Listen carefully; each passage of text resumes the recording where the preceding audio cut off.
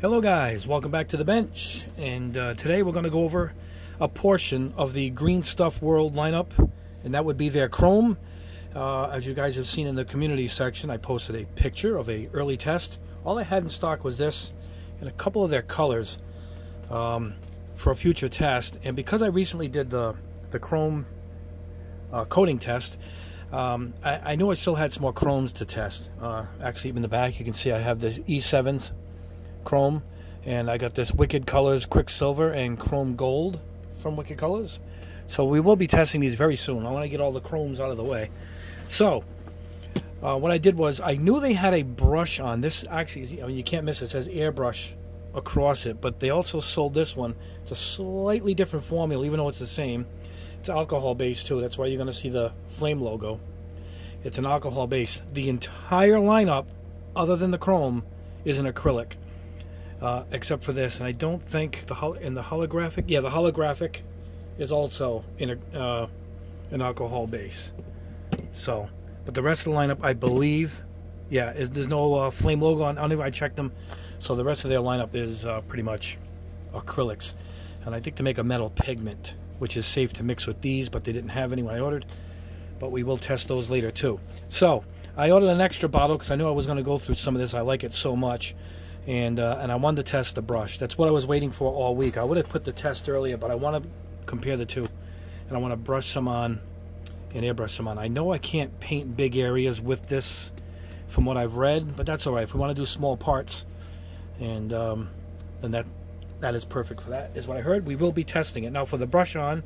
I got this uh, Gundam hand right here. We'll brush that on. No uh, backing. I heard. I heard if it's just dark plastic it should cover it. Even medium to dark, it should cover it. Uh, um, like I said, it, it, it's a it's a different pigmentation for made for brushing, whereas this is much finer to go into mist coats. I think that's the difference. And I'll, I guess I'll also brush on this here hose, and we'll see that. And um, we'll let those dry, and we'll go through that as soon as we're done airbrushing. We're going to airbrush first. Uh, like I said, it says you can thin it with alcohol.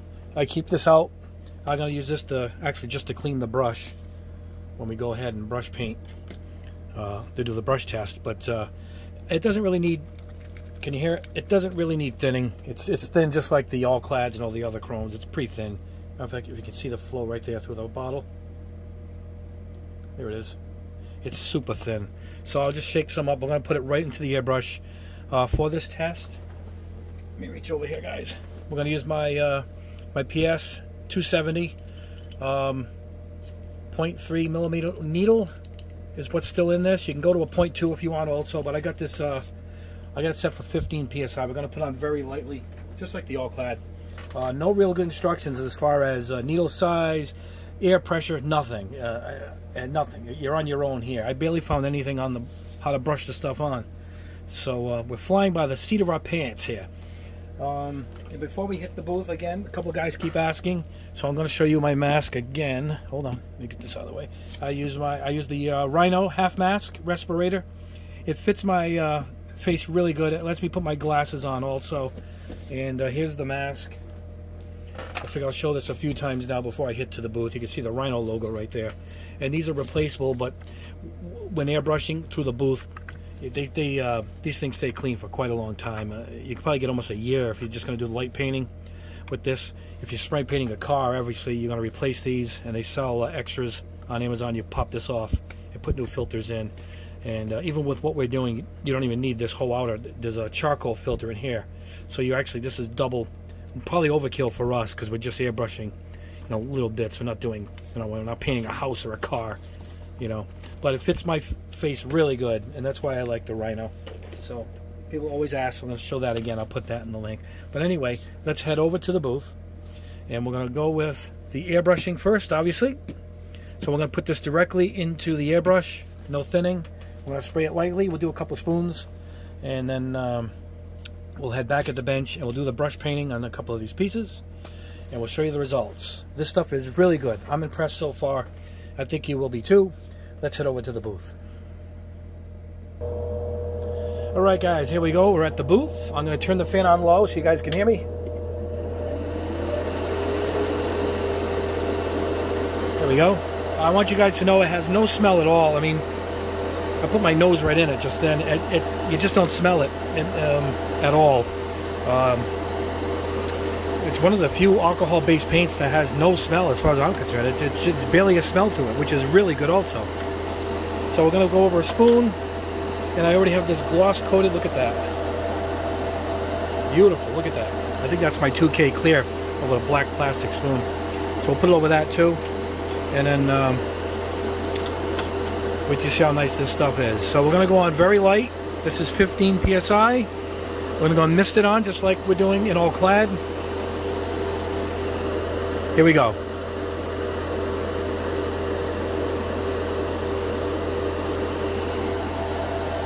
Already getting the chrome look. I put it on actually kind of heavy and it still came out great.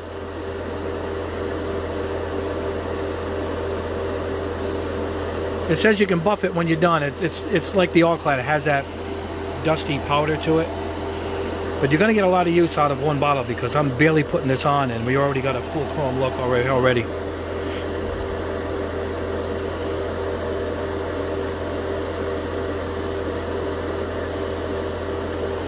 See it? Oh, it, it's hard to see it in uh, through the lens, but it actually uh, fades out. It, it's going on almost a powdery look. We'll leave that alone. We'll go to another one. I'll show you what I mean. If we're putting it on heavy, which you don't want to do. But it's really forgiving. Alright, look at that. We're already coming into a chrome look already.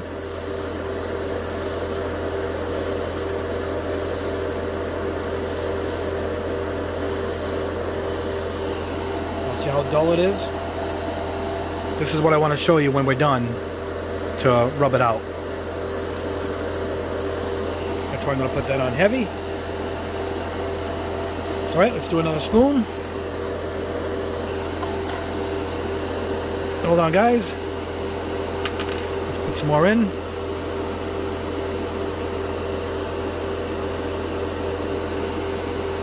Won't need that much more because I loaded up on the knife so you guys can see it when you go on it heavy.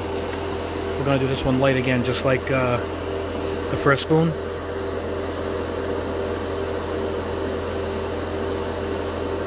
It's amazing how this stuff works.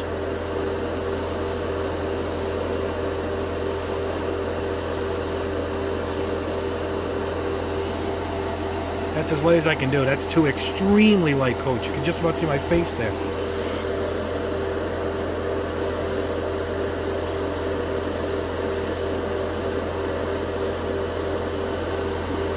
It looks like it's dull, but it actually dries itself to a perfect finish. I really like this stuff. It's almost uh, trying to get every corner here. That should do it. Alright guys, now you're going to clean this out with alcohol. Just use the jar, the bottle I showed you, just any dime store, you know, any dollar store alcohol. Just throw it in there, blast it out, do the reverse flush. It cleans right up. Um, I'll wash this through too, and we'll head back to the uh, bench and I'll show you the brush on test. Alright guys, here we are back at the bench, and uh, we are going to do the brush on test. Now make sure you get the brush on version. It doesn't say brush, it just says chrome metal. Um, but it's listed as brush on when you go to order it but you can't miss the two because they put airbrush in that bright green. I, I heard you can airbrush this too but I have that already. I didn't bother trying. Um, so they said you can do both. So I guess uh, uh, buy the one bottle if you want to do both but this has a heavier pigment. So we're going to see what we get. This is a little paint uh, catch I have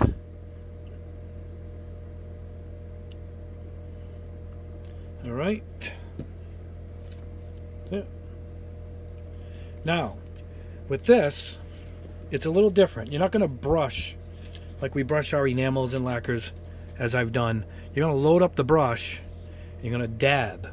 You're going to dab it. Watch.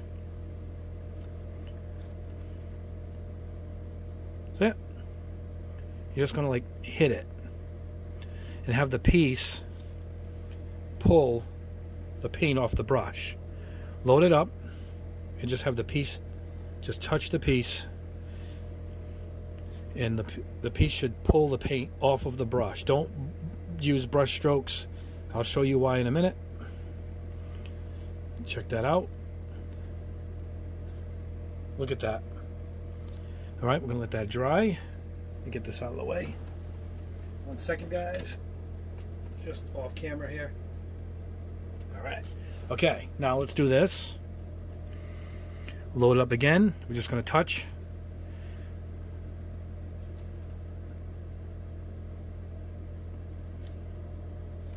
Gonna touch it.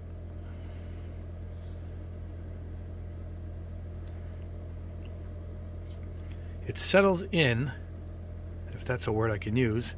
It kind of, as it sets up, it, it leaves the shine behind. It looks like it's not as I'm doing this. But look at the bottom already, how we're getting a shine on that already. If I get the lighting here. Yeah. Let's see. There we go. It, I mean, that is reflective. Looks like a piece that came in one of my old car kits. The old chrome sprue. Excellent. All right, let me put this aside to dry with the other one. And here's what we got to do. You got to clean it off with alcohol. This is my good Tamiya brush. Yeah, Tamiya. Great brush. The whole brush lineup is great. This is just uh, pure alcohol. I cleaned the airbrush out with this too. Uh, I think Equate, Equate that's uh that's Walmart. That's Walmart's brand. Yep, it was like 98 cents for that bottle. Oh, that's the giant bottle. That's like two bucks for that one.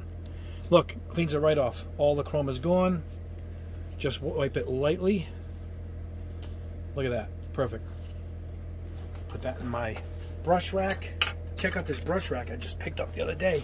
I don't even think it was six bucks at uh, Hobby Lobby. Isn't that great? Look at that. I gotta load it up yet. I just got it.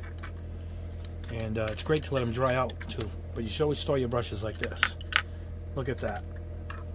All right, let's get that out of the way. Okay, guys. Now, we look at it. It's like like uh, mercury in there, like mercury plating. I wish I could capture that and put it back in here. Maybe I will. Let me close this lid to keep it dry. See? And we'll put that aside.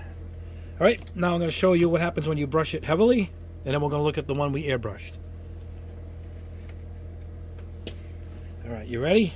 Look at that. Is that awesome? I mean, the lighting here is a little tricky. I wish you could see it. Here, it looks good there. Look at that. Look at the light just glaring off it. It, it looks like a model that came plated. Now, here's why you can't brush it on a big piece. Now, this I took the gloss black and brushed it. And see what you get? It's You can see it's trying to be the reflective chrome. But I even let it sit, put another coat, everything I tried, it just came out like this. You have to do the dabbing effect, where you just let it pull off the brush. And for that reason, I think it's made for these smaller pieces. You know, it's settling in already on this. Look at that. Is that beautiful? And it's durable too. I'll show you the spoon that I've been sitting on here for a while. Here's the one we just painted. See So that's both of them. Isn't that terrific? you know, and um, uh, fairly durable. I, this I painted, I mean, just a little couple hours ago, but this will take a, take a little bit of a beating. It's got to dry. You got to let it fully, fully dry. You just have to. And that is 48 hours. I would go. The other one I noticed right away. Let me show you.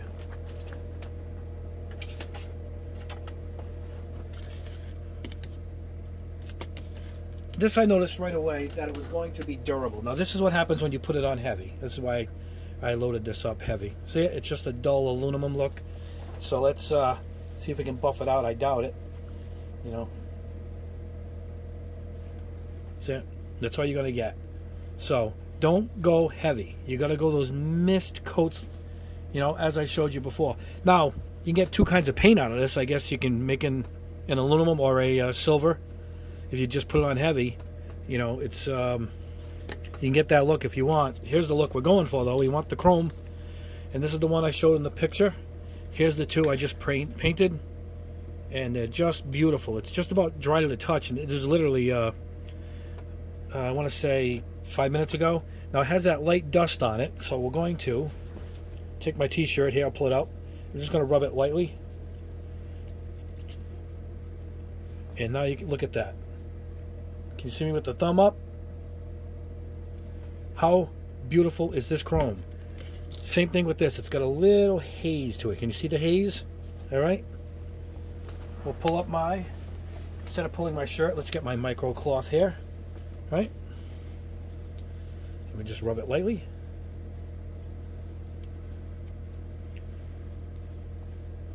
That's all. I like to pull it in one direction. Look at that.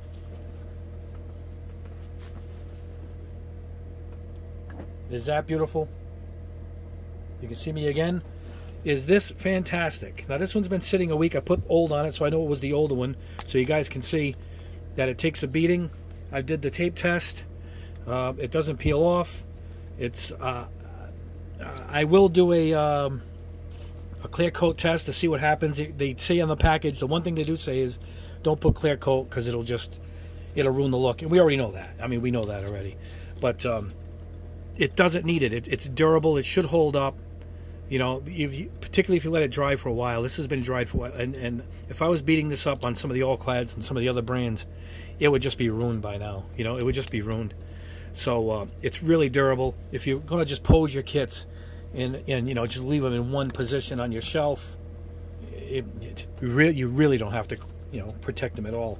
But I just think this is a wonderful, wonderful chrome paint. I like it. There's no smell to it. Very rarely do you get one that's uh, no smell and looks this good. Most of them don't have a, a smell anyway, but when you see the uh, solvent and the alcohol tag and the flame tag, you, you, everybody you're thinking of a smell. That's that's the first thing you think of, and this has zero smell. And don't forget, as good as the airbrush one is, the brush on is great too. But this is for tiny parts. I, I would say, I mean, this is a good sized piece here. It's a hand and it came out beautiful. So, um, but you're going to use the dabbing effect. You're just going to get those brush strokes. If you go the other route on a big piece, you got to go. You're going to have to airbrush this stuff, guys, if you want to go uh, a, a, a, big area like like this. But um, as far as this goes, it's a whole different shine. Can you see it? It's like it's almost like a, a chrome plated, like a bumper, an old car bumper. But you're not going to get this kind of shine anywhere. So I'm glad they do make a brush on one. I'll tell you right now because you can now you can do some of the parts inside some of these inner frames of these kits and some little pieces, you know, on the joints and stuff. You can paint with this and have it be shiny if you don't have an airbrush. So you can do spray cans and brush painting and still get a nice effect. But uh, that is it. Now uh, I'll put a link where I got them. I got them from Michigan Toy Soldier. Um, I kept writing them and asking them if they would give me a code for you guys or something, and they wouldn't give me anything. So I, had to buy all this myself and uh, wanted to do it for this test. I also have fluorescence in the back. I'll go over some of the colors now. But um, I was when I tested this, I really wanted to get more of them to do a full test. If I do get an affiliate, I'll put it up. But I'll put the link below, and uh, I think eBay has some of this stuff too if you guys are overseas. Now here is an example of some of their other paints before I say goodbye for the day.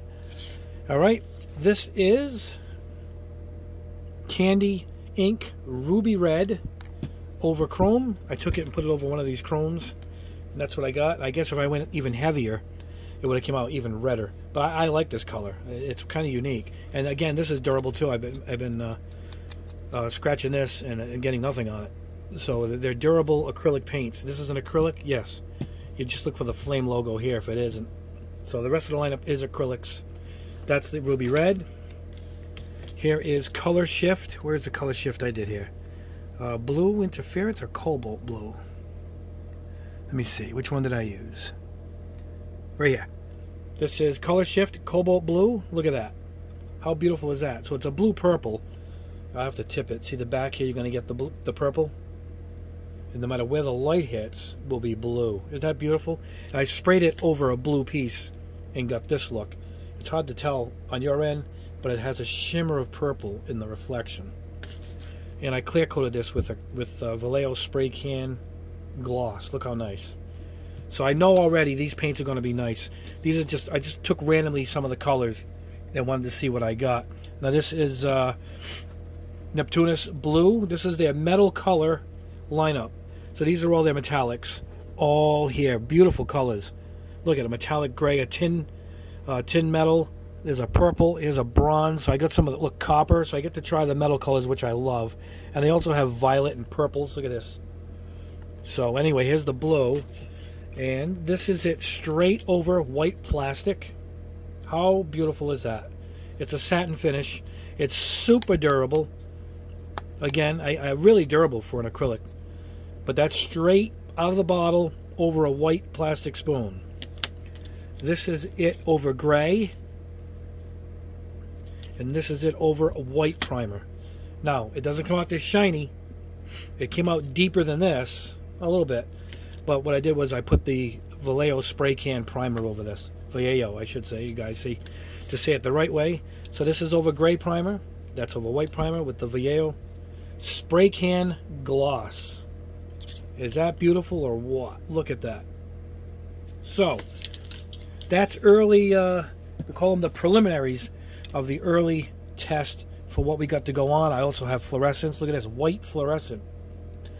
Um, what else do we have? Color shift. Here's some color shifts we have. Darth Blue. Uh, Red Goblin. Burning Gold. And Storm Surge Green. So I'll do some of the color shifts soon because I did a color shift test with uh, the Vallejo. So uh, I do want to compare them. These are metal fillers. These go over other colors or I can mix them with other colors.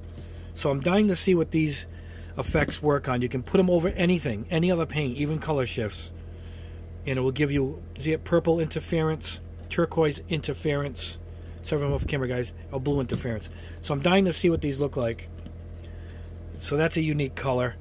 And I have the holographic, which I like to put over uh, other colors. This is their Max Matte. This is a super ultra matte varnish. So I'm dying to see what kind of effect I'm going to get with that. And of course, the metal color I showed you.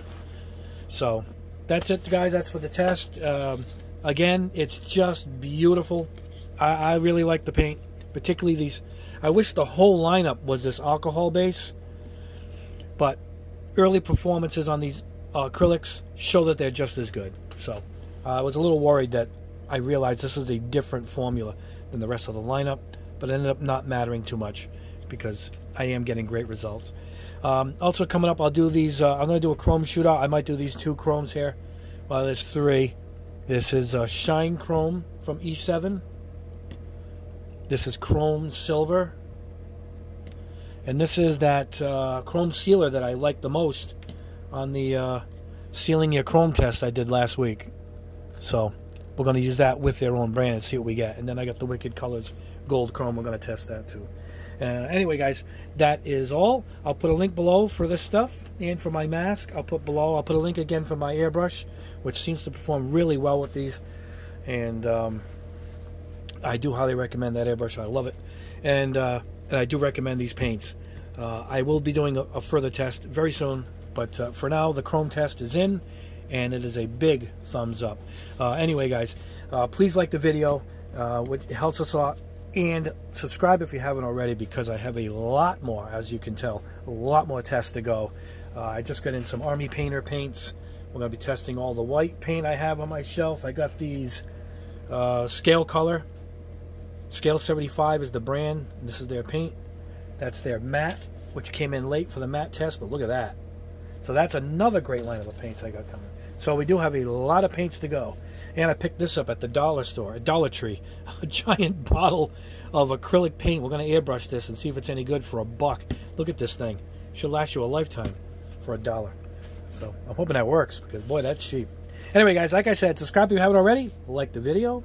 And we will catch you next week in our next video.